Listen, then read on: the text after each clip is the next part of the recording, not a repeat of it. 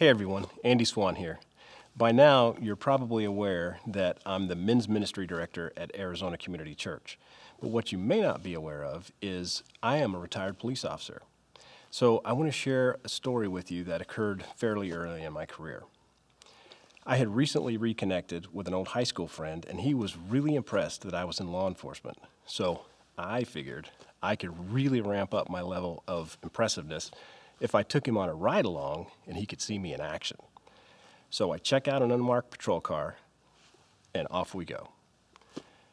So there we are. We're on patrol on I 17. And of course, he's asking me for some of my cool cop stories.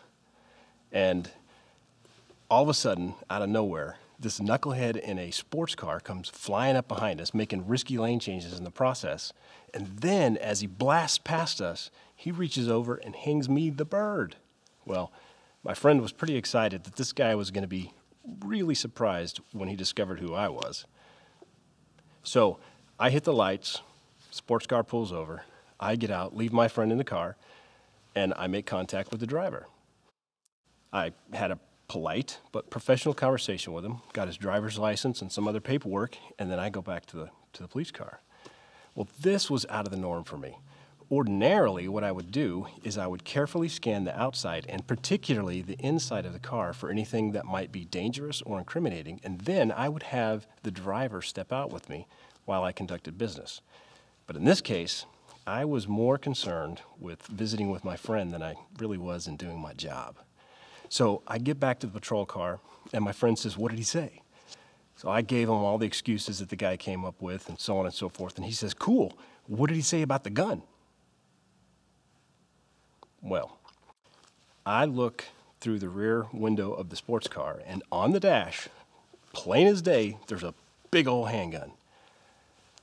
I could feel my level of impressiveness fall to the floor.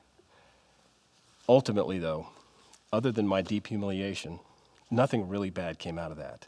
But it occurs to me that I was so focused on impressing my friend that not only did I not do my job, but in failing to pay attention to what was going on around us, I had placed us both in jeopardy.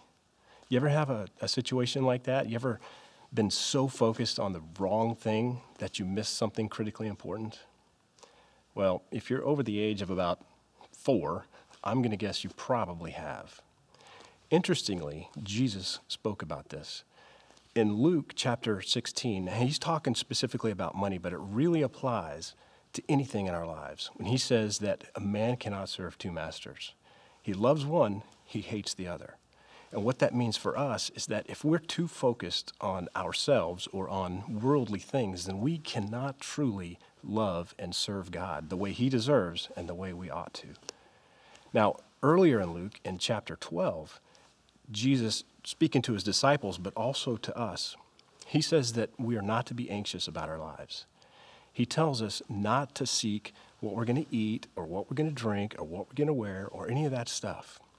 But instead, we are to seek God's kingdom, and everything else will be given to us. Now, I encourage you to read those chapters. I really think it'll help you to keep those kinds of things in mind as you're going about your daily business. I know it does me.